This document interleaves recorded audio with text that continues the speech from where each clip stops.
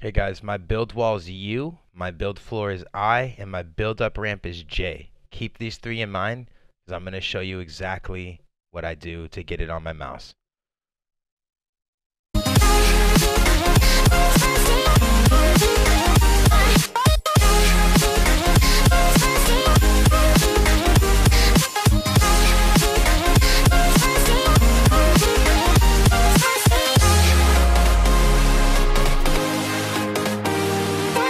All you literally do is download your mouse software, go to choose a profile, make a profile, enter the key bindings that you need. That simple. For your specific mouse, mine's a G403 Logitech. So this is the this is the software that I use to be able to basically convert the settings that I just told you before, the J, U, and I, and I've literally put them into my mouse so that I'm able to use mouse settings instead of key binding.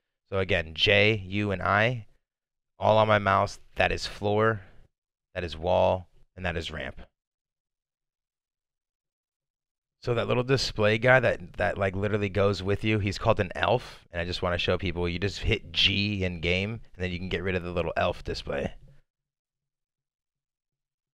So if this video helped you out in any shape, way, or form, guys, please make sure you smash that like button. If you guys are new, make sure you do subscribe. I do live streams every single day at 6.30 PST, okay? I'll see you guys next time. I got a lot more stuff coming.